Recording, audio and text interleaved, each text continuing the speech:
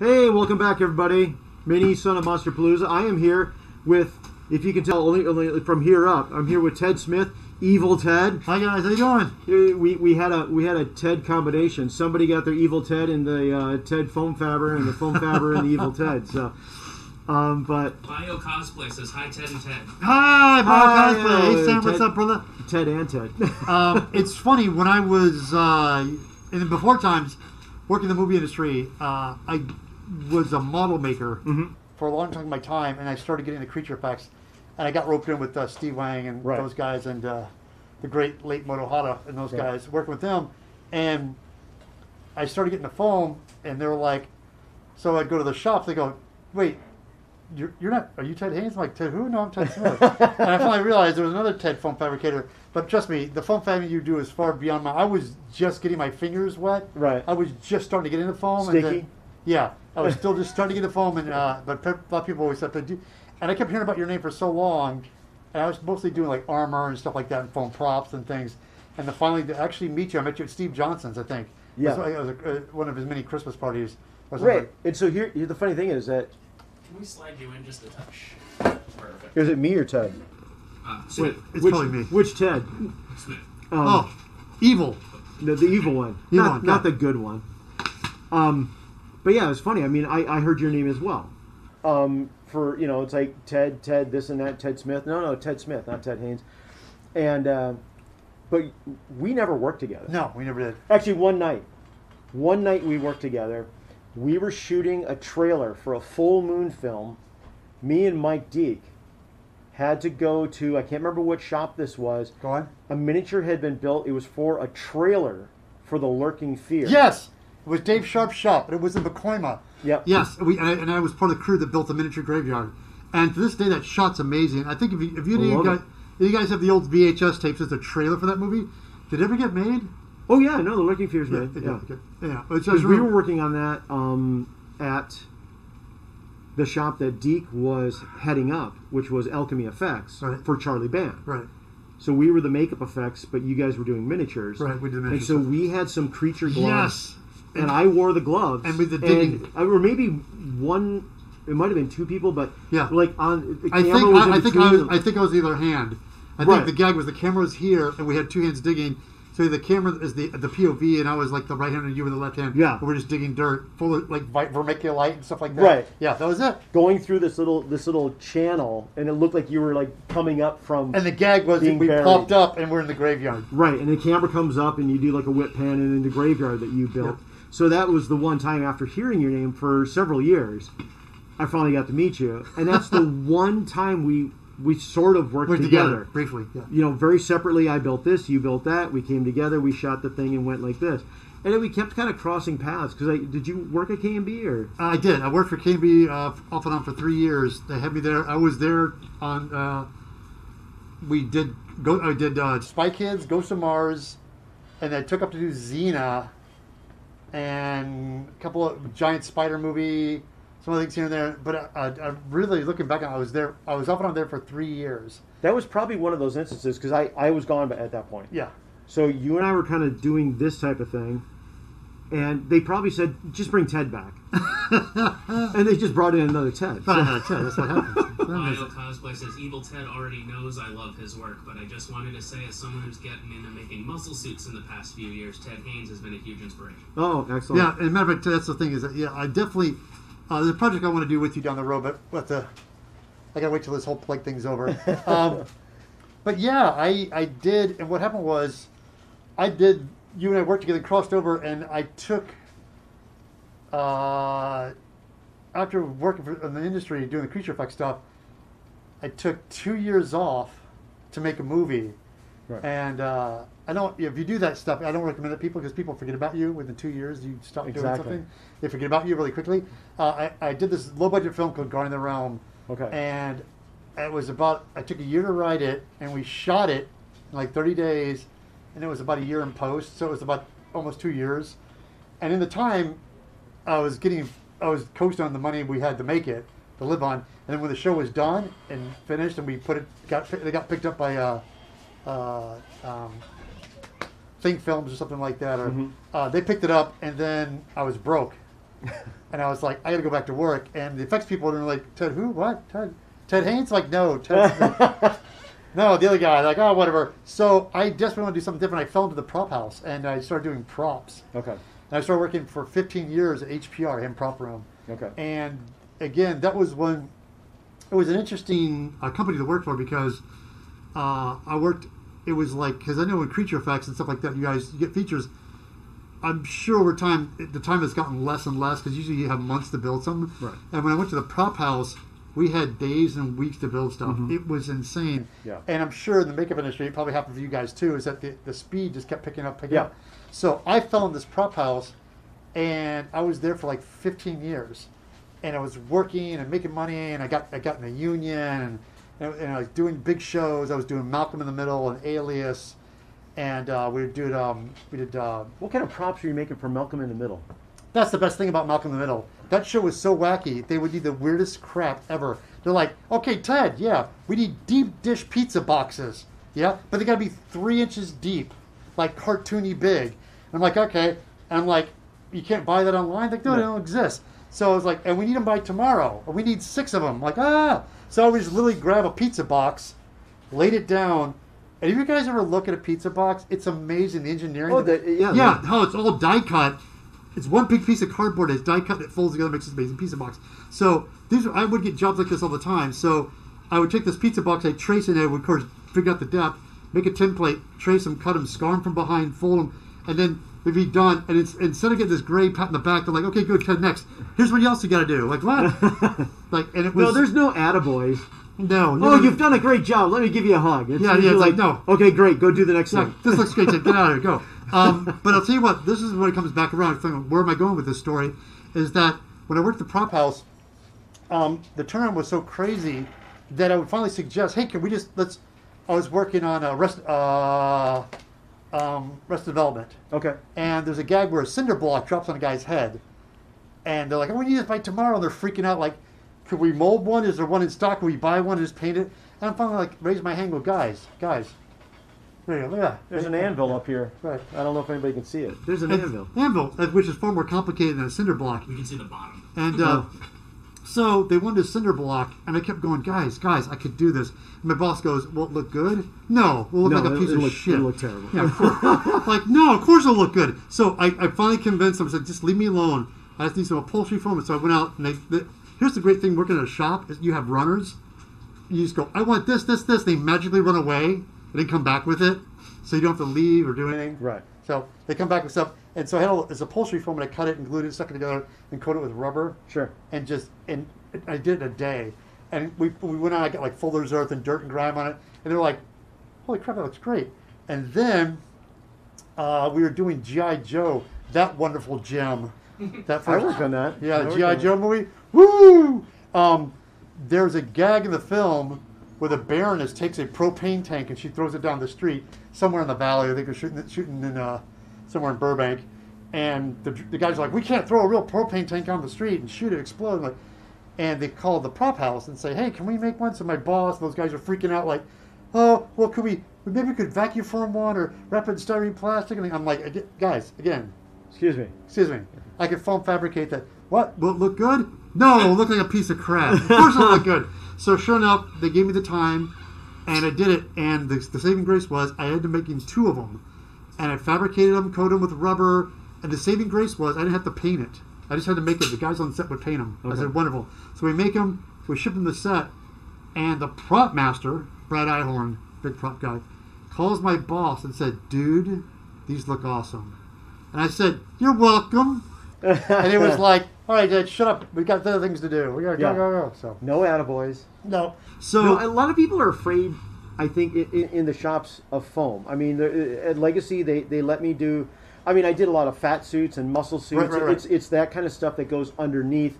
And they're a fine big, with that. A big fursuit Right. and stuff like that. But when when it comes to making a character, and and trust me, I get it. Number one, it's it's hard to animate these. Right. You know, to do an animatronic. Not that you couldn't, Right. but it's hard to do that. We we definitely did a couple of great characters at Legacy that Alan was like, "Do you want to foam fab that?"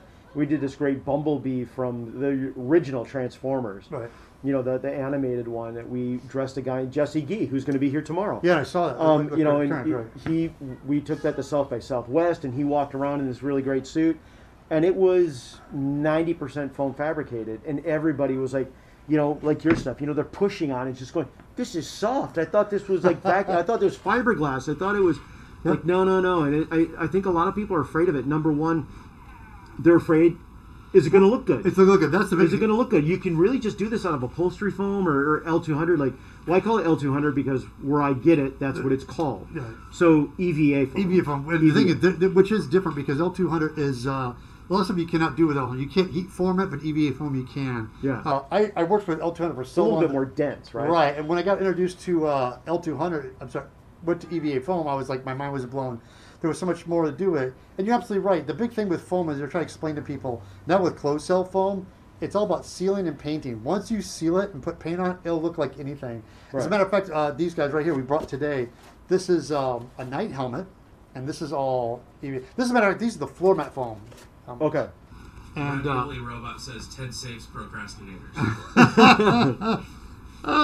it's that the uh, yeah, thank you. The um, with this guy. Oh wait, no, this isn't. This is the uh, this is the TNT foam. This is the new improved one. First one I made. He was- lied. It's fiberglass. Nah, so it Silicone mold. It's just once you once you seal it and paint it, it looks like anything. Um, but uh, much with the prop house, I convinced them, but it was a double-edged sword because what happened was, I was able to do it so quickly on certain projects that they went nuts. So it got to the point where it went from, can you foam fabricate? Like, hey Ted, could, they just went to. They didn't even ask me anymore. My boss would- would take a job and say yes to it, and come to me and go, oh yeah, we're gonna do this out of foam. I'm like, oh This wait, is what- what you're building next. Oh, we're doing this? Thanks, guys. Like, and it, and it got to a point where the one thing I got yelled at, and I worked. It was the uh, was uh, one of those uh, doctor shows, um, ER or something. something like that, and they had to do a, a neck brace on this guy, and it had, to be a medical neck brace support thing. And um, here's the thing that's so funny: is they had one, but it was flesh colored. The director didn't like it. I wanted it in white. Like, can we just paint it? Like, no, no, we can Ted can fabricate that. So I literally was like, what? So I had this neck brace, and I covered it with aluminum foil and duct tape and made a pattern, and then darted and I had to reassemble it and clean the seams. And it like, and I was, and I worked at a dirty shop with a bunch of guys working with machines, so I had to make a clean area and wear gloves. And it, and by the time I delivered the prop, my boss looked at my hours and went, "We can't charge them this. This is too expensive." I said, "You should have asked me what it would have cost." It's like, well, you, you can do these so quick. I'm like, yeah, when you make a box or a cinder block, Right. but when you're doing something like something that has to be white and clean and has all these contoured curves, Right. I said the original one was vacuum formed. You could tell it was heat formed. Right. And I had to make it. So anyway, What's that polypropylene plastic? Right, The real things. yeah, that's and- where yeah. it's molded and. right, Yeah. exactly so. But it's it's that kind of uh, double edged sword. But um, It's all about. I mean, trusting, trusting foam Yes. to look good. To me, a lot of the times, because it, it can look amazingly simple. yes, You know, but then you throw paint on it, right. and it's not just I painted it white or I painted it like that. You know, like with this helmet. Thank you. You know, it's it's like adding character to it. Right. You know, like there's a there's a ding here with a you know a, a bullet ricochet, but it's like the black in here. It's the it's the dirty. It's the and you wouldn't guess. You know, you would think that this was you know. It was 3D printed. It was sanded and model shopped and silicone molded. And it's like, no, this is. And, and the thing foam. is, uh, the, the, the big shout out to the cosplayers, the cosplay community, was that I spent uh, 30 years of my life doing exactly what Ted's talking about. Is I sculpted, I molded, and we were trained to work with silicones and urethanes Right. and vacuum forming. So that's how we worked, and that's how I was conditioned to do. And um, I worked with this uh, Asao Godo, who lived in Japan, and he was on the Guyver.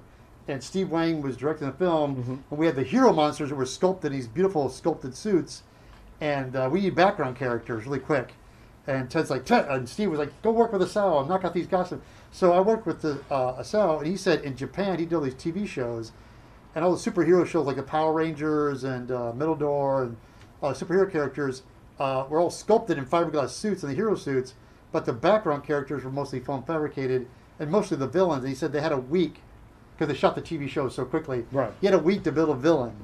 And so I was like, what? A week? and lo and behold, uh, we built these background characters, and I learned so much of the technique that you use with upholstery foam. Right. The organic stuff and doing uh, he would, we'd rough up these shapes. We'd buy like uh, long johns, put them on a mannequin and start sticking foam on them.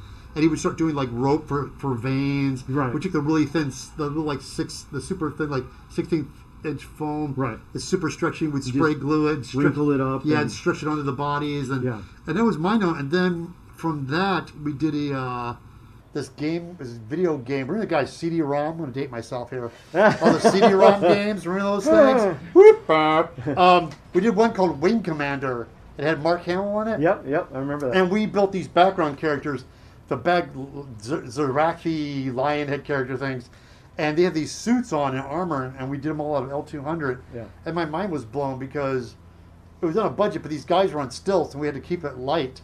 And so we did vacuum forming, but mostly it was all foam. And so I was introduced to that, and then started like, oh, that's super cool, and started getting into building stuff with foam, uh, and then realizing I could take the same techniques uh, I did with uh, building with acrylic and clay and Right. styrene and vacuum forming, and just translate into foam. And that's how I went about making this. Uh, my favorite one I brought today to show you guys, uh, old school. I love uh, aliens. yeah.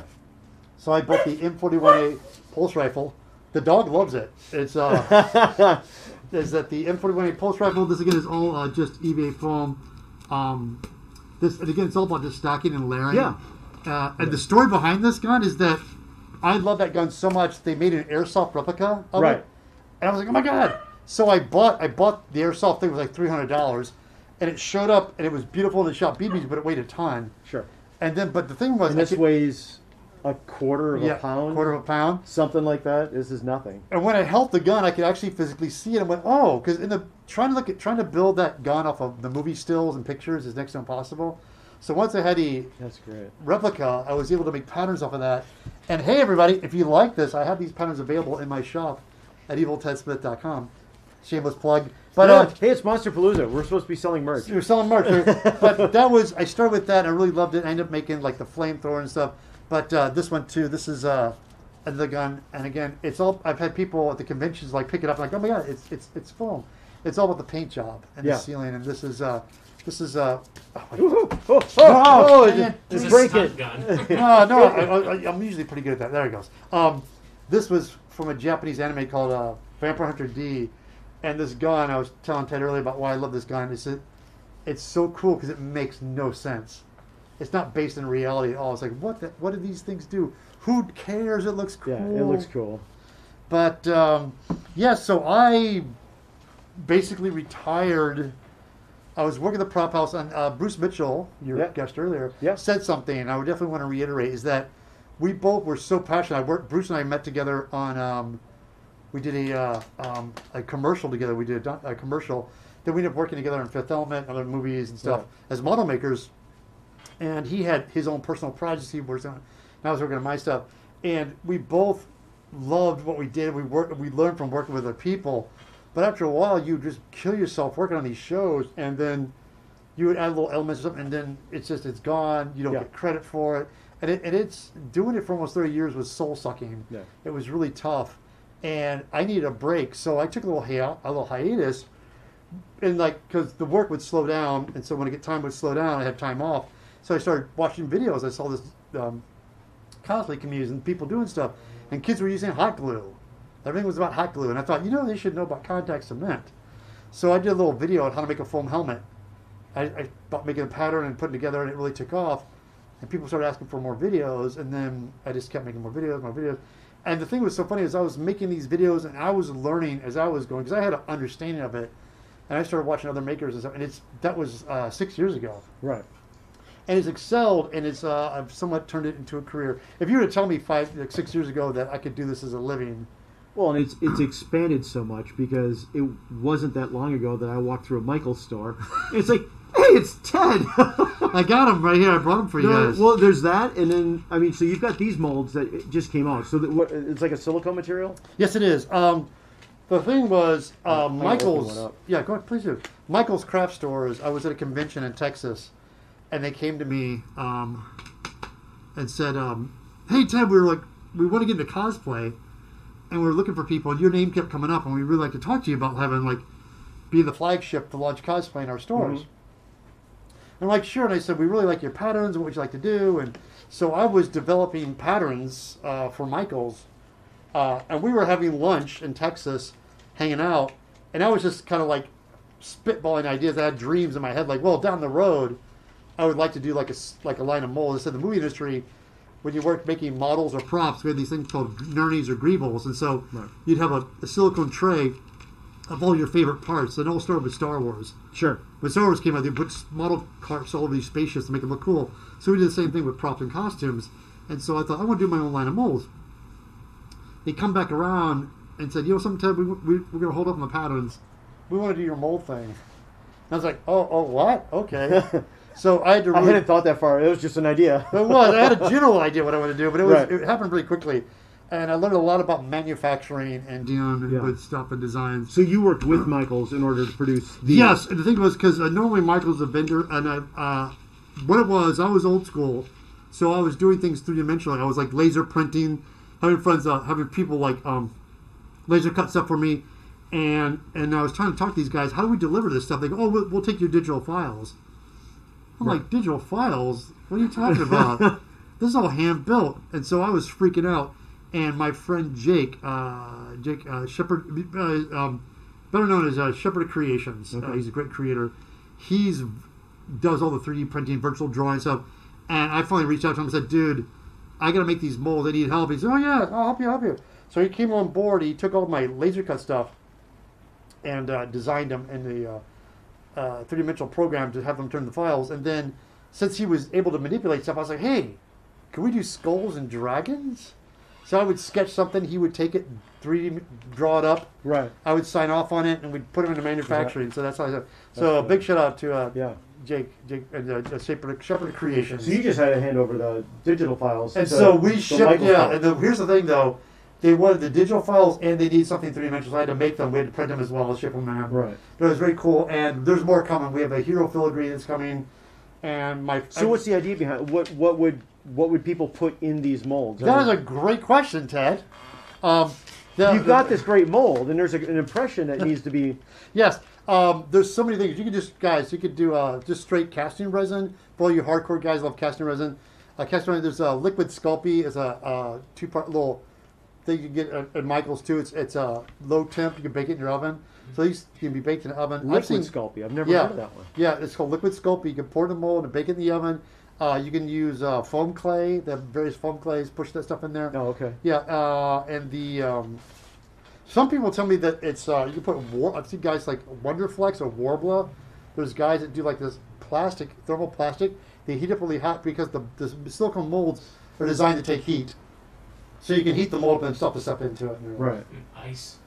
Yeah, and so Oh, yeah, you, you make, can make really ice cool. cubes. There And you go. also, I've, I've had some friends make some really cool Jello shots with themselves. There you go. Spud Froggy says finally a reason to go outside. I'll go to Michael's tomorrow. Ooh, what's up? Because he started out with you. That was the cool thing. We're walking down the aisle. Uh, Alona and I had to go to Michael's, and there's your center aisle thing, Evil Ted. Right. And it had a lot of EVA foam on there and things like that. So are patterns coming from you at Michael's? Uh, no, we we're still in talks about things because my I have my fingers crossed because I this is the first line of molds, and I'll be honest with you, I like I like the I like the dragons. And he likes the dog likes them too. The too. dog wants the molar The dog wants too. Is that the um I love the the dragon heads, the skulls, the filigree, and the the, the tech detail. I want to I want to make more obscure weird shapes. I have a whole bunch of ideas. Now, here's the question. I'm going to interrupt you. Go. So, you're a kid. You're, Right. you're, you're thinking, I want to get into this. I want to get into film and all this stuff. So, what do you see now when you're walking down the aisle at Michael's, and you've got Evil Ted on this box, and you're walking? I mean, like the kid in you. You know, the non non evil Ted, non it- like that. The kid in you. What what are you thinking when you see that? it, I, it, I tell you what, I, I got I got into this um, tutorial videos because of uh, 14 year old me. When I was 14 years old, right for this guy's I'm gonna date myself. I saw Star Wars in the theater for the first time. It was 1976, and I saw it. My mind was blown, and all I could do was like, oh my god! All I do is I wanted that stuff, and there was no place to get it, Right. and there was no YouTube channels. So I had cardboard, duct tape, poster board. I was the that was the first understanding of like combining two things. I would get like water guns and stick um, aspirin bottles on them and make them look like guns. Yeah. And I, and I used glue, and I finally realized after a while you start putting screws and stuff, they'd stay better. And it was just the whole thing of wanting to make and build. And it was like, and that's what I try to tell the community is that it doesn't matter what you use, what's readily available to you. It's just get your hands on, and start building, and that's what now. Foam's everywhere, so there's no excuse. That's the. I mean, that, it's just it's just crazy. so It's just- cheap. It's so cheap. Yeah, I mean, it, when I started actually making things, I mean, I saw Star Wars when I was nine, Yep. and then it's like every book I could find Yes. on it, and then it was like you know whatever clay I could find, or Play-Doh, or maybe some different kinds of clay, and trying to work my way up to different materials like that. But it's like again, what you guys have out in the world oh. right Oh. now versus what we had 35, 40 years ago. Yeah, zero. 40 years ago. 43 yeah, years yeah, ago quite easily. you know it's like it, it's it's like it's night and day and it's like with your videos that you're doing i've done tons of stan winston school videos i'm going to be doing more live stuff you know I, i'm dumping all this stuff on instagram and, and, and youtube as well but then so many other people just around the world Hmm. it's just a massive community it's like there's no excuse not to make Right. something And it, and that's the catchphrase I, I've said. I, I just put it on a shirt recently. Is that Right. It's it's the passion. It's the, it's not it's the, it's the passion, not the talent. Uh, a lot, I get a lot of letters from people that always say, "I I, yeah, I wish I could do that," or uh, "I don't have the talent to do that." I'm always like, "It's not. It's that's not what it is. It's just the drive of you wanting to make something and just being prepared to fail. That's one thing you guys got to understand. It's not going to come out perfect the first time because I don't to, I don't post pictures of my early work because it looks like crap. there's a lot of garbage There's a lot of garbage stuff out there, trust me. And so you get intimidated. That's why I said when you see a cosplayer or somebody you really admire, you like, you see the pe- their costume as a whole, it's they have inti- figured that out yeah, and it's intimidating. off camera Right. But when it's all done, you realize that if you ever watch what they do step by step, if you see the procedure what they take, it's oh, it's it's it's actually doable. It's all just Sure. processing. So that's why everything you guys see here, I have videos for every one of this stuff on, on the table. This gun, the helmet. It's like once you watch me do it, you get understanding of it. And I do it quickly because I've been doing it for years. But the thing is, it's there's no deadline. Do it till it's till you get it right. Do it till Right. it's done. Turtle Yeah. Time 300 says Ted makes the building process of cosplay fun. oh, thank you, thank you so much. Um, do we take questions on this thing at all? Or were you? We Uh, did- when they When- come when in, they're yeah. coming oh, in, they're fantastic! coming in. That's wonderful, guys. Um, yeah, when I made these uh, the molds, I, I this actually says these. They asked me which one would I think is sell the best, and I was like, ah. Let me let me guess. Did you pick the one? I, I I did, and I was wrong. So What would I say would sell the which, best? which they, they're like asking me which there's one that's still out the hero filigree, which I think is going to sell the best. I'm gonna I'm gonna say this one. Because for me, if I was a kid just starting out, Right. that would be the hardest thing to make. Right, right. It was like a very machined looking part. Like you and I both like that stuff, and, I- and these guys, these are my favorite. Yeah, You- both of those. You know what the top sellers? What's that? Skulls. Skulls. I that was good. I almost was gonna pick it, but I thought that's too easy. Everybody's gonna want to skull. But, but I kept thinking, really, because there's skull molds everywhere, and apparently uh, they're not. It's like Yeah. what I thought was really available. It turns out they don't have a lot of skull molds out there. So uh, if I ever do another run, I'll do different variations of skulls too. Right. But yeah, but this was a yeah, there's a hero filigree one that I really like. That's not There's yet. there's one thing I because I follow you on Facebook and Instagram and all that kind of stuff, and then I, I occasionally will will troll on Ted's page because there's a there's a question that always gets asked Yes. on your your uh, um what, what was it The foam fanatics. Foam fanatics. Yes. yeah. So there's a there's a there's a question that gets answered on foam Fanatics- or asked on foam fanatics, and there's a picture, and it's like I want to make this. Any ideas how to start? And I always go in because it, it, it's a it's a question that actually bugs me, and it's like I always go in like a smarty pants and go practice practice practice. Hi. That's all. Always I always do practice practice practice because it's like you have to do some research. You know, there, there's too many people I think that want it handed to them Right. you know, it's like, well, where's your design? It's like, that's my design. No, no, no, that's somebody else's design. Now you have to redraw that, break that down. How many pieces? Because you've got so many videos showing how to, and you can apply the patterns for this. Right. You can take that a pattern and apply it to a shoulder, Right. to a chest. You know, because you change the pattern. Just because you made a pattern for this or for this, doesn't mean anybody who's buying the pattern can't alter that pattern. Right. I'm gonna I'm gonna alter that line a little bit, and I mean that's what we do all the time All the because time. it's like the, some of the first things I learned how to make when I'm patterning foam to build shape because these are all hollow, so it's a it's a hollow shape. It's like I make a ball. Well, so I, that was easy. I, I went out and I patterned a basketball. So it made my pattern like that, and here's the here's the way it looks, and it's like, what if I elongated that a little bit just from one end? And it's like, oh, that's an egg. Well, what if I squish it in the middle? That's a peanut. Well, what if I do a little bit? And you start how to learn these these uh, these shapes and how to do these things. And it's like you have to you have to take. It's great that you've got the pattern, Right. but now learn how to alter that pattern. Learn how to be creative. And if you want to make this super elaborate cosplay outfit, Right. now you got to practice. The And thing you is, uh, practice and you practice. And it's funny you said it too. Is that that's why I have a lot of basic patterns in my shop. I have like a chest piece, female chest piece, uh, shoulders, half dome, horns. Like I got very simple shoulder patterns. And if you can buy a pattern of something I have that looks close to what you want, get it and alter it and change it to get to what Right. you want it to look like. That's the thing. It's always it's it's. I want people to think outside the box. Absolutely. Yeah, it can't, it can't get handed. There's a question. There's a question. Young man over Uh, here with his hand up. C, C Dawson forty nine says, "Does anyone know the pound density rating of L two hundred? The pound is of L two hundred. Now well, there's L two hundred, there's L three hundred, there's L four hundred, and I know that the, There used to be L600. There used to be, and the higher the number, the more density. The more dense. yeah. Uh, I don't know what the numbers mean. I've asked them at Atlas Foam, where I pick up my phone, and they say that's just what we call it. Yeah, That's I the higher the number, the more dense it is. I don't know what the poundage is on it- it. no, not really. My other thing too is that I, when I go grab foam, I touch it. And that's why TNT cosplay. I like their foam because it's dense. It's it's really dense and it just holds pattern and holds. And when you heat form it, it holds its shape really well. So just the density of that, I'm sure they could give me a number, but That's um, the thing. I mean, I, I always talk about L200 and L300. Those are mostly what I use for building like these heads and things like that. It's because of what I know. Mm-hmm. You know, th- this is the this is the material I've been using for decades now, and I use it because Atlas Foam is truly a few miles down the road. Right. But if TNT cosplay is out there watching, you know, give me a call. I'll give you my address. Because that's funny you said because when I worked um, in the movie industry, the reason why I started with L2. It was, really available. Right. It was everywhere. In every shop I worked at had it. But once I started getting it in the EVA foam and then to see, and for armor making, like making this gun, this is what made this so doable is that there's a lot of stuff on this gun, like um, like the little slots here on the side, on the clip. There's uh, little slits, and that's a little trick where you just take an exacto blade, cut the foam, and heat it. It shrinks and makes it a little crisp Right. line.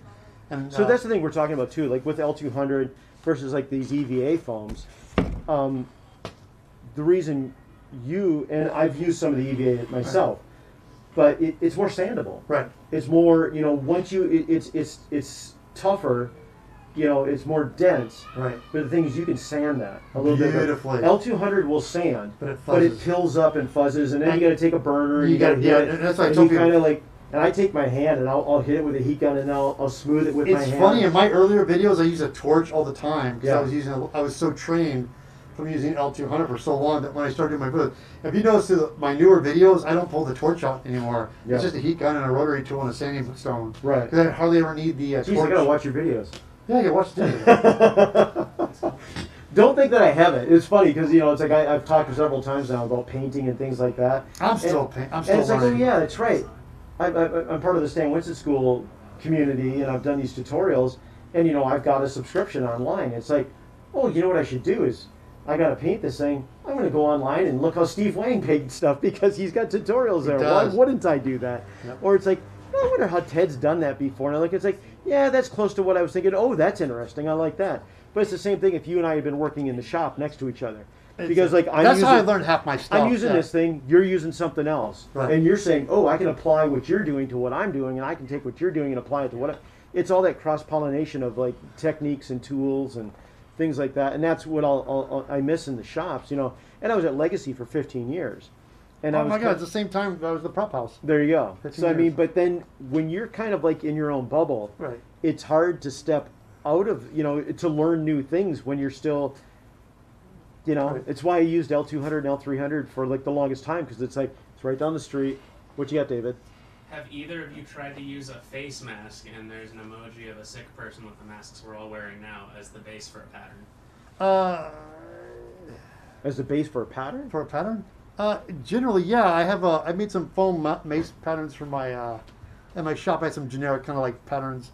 I want to make more, but yeah, just kind of the basic shape of something. I was making one out of foam to make it a little bit more interesting, but um, i haven't i just but i know there's so many people making them it's like uh, mario torres is uh is making some great masks. That They're sculpted and Oh yeah, there's one that looks like a predator mask. Yeah. it was hysterical. people are doing There, some there's a lot of people making the, the uh, leather. The leather workers are making the uh, face hugger mask Right, right. the- with the fingers. around. It's so awesome. Yeah. And I bought the pattern just with the intention of making it out of foam. Uh, young woman that's uh, if you guys do like a leather, if you look on uh, do an internet search, you can find her, and she sells them on Etsy. I've seen them. Yeah, they're, they're, super, great. they're super It's cool. fun. Yeah, really Yeah. cool. Um, I don't know if I want to wear leather all day. Yeah. I saw a guy on one of the. I, I'm a huge Indiana Jones fan, and I saw a guy had done one out of the similar lambskin leather, like the Indy's jacket is, and it's like, why would I want to put leather across my face? it's like it looks neat, but there you go. We've got ten more questions coming. oh man, Oh, wait, no, ten more oh, minutes. There you go. Oh, really quickly, guys. Um, again, for everybody who's just watching, where you guys can find me, you can definitely have my website, eviltedsmith.com, and I have a YouTube channel uh, called the Evil Ted Channel, and I'm also on Instagram. I think it's Instagram. It's a Evil Ted underscore channel on Instagram. Or you just go to my uh, webpage. I have all the links there. Uh, I, guys, Just you can do a Google search for Evil Ted. but do me a big gonna- favor, guys. Get on my website. Get on my mailing list. If you guys want to see the history of my movie work, I have all my props and pictures and things. I've looked on. I have a complete list of movie inventory stuff on my resume. But um, please go on my website. Get on my mailing list so I can tell you what, what's going to be happening next. And uh, uh, I have slowed down a little bit during the pandemic uh, on my build stuff, but I got some new stuff coming up because I'm really pumped about the uh, the cyberpunk game coming out. So I got a lot of cyberpunk stuff I'm working on. So I remember too. One of the first times I remember hearing your name, it was from Mike Deak. oh and I was working at John Buechler shop, and I was really super new there. And I think you guys were either just wrapping or still sort of working. And I tried to get in on it, and I just couldn't. Mandarin? Was uh, Kung Fu Rascals. oh, come from. so this, oh Kung- my God. Explain what Kung Fu Rascals is. You know, we've got a few minutes. Uh, Kung Fu Rascals was my first feature film to work on with Steve Wang's ambitious feature film shot on Super 8 millimeter film. It was And all on the DL. it was yeah. There And- were no permits, no, right? you know, it was all super low budget, and he shot this. He had this really ambitious idea, and we met at Ted Rae's where we were doing Tales from the Dark Side, the movie, and I met. There was Steve- another Ted. yeah. What?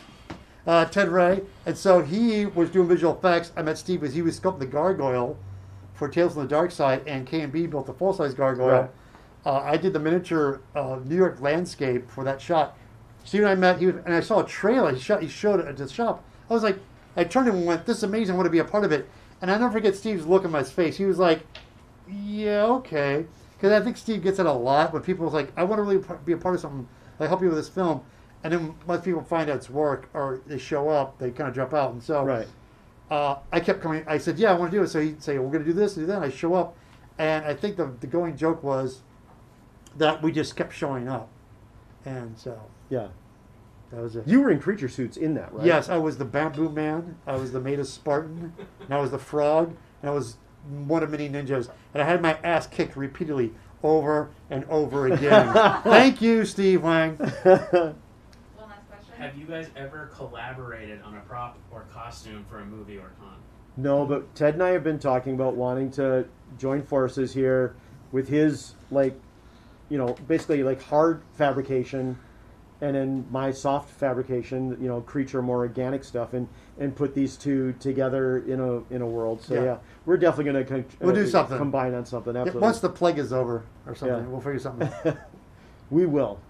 Guys, thank you so much. Yeah. Please, this, This is, is awesome, great. Ted. We're gonna take another break. Ted Ted Smith, Evil Ted. Thank you so much for being here. Guys, thanks. I appreciate it. Uh, uh, welcome to the booth. Dude, um, can I show really quickly? I Yeah. want to see. I want to see these up. I watched them build this. These are so awesome. These are so awesome. This Thanks, is Mike. awesome. And he's not even done. Awesome. There's a lot more to go on evil uh, angry fish guy. So, all right, we're gonna take a little break and we'll be back. Thank you, everybody.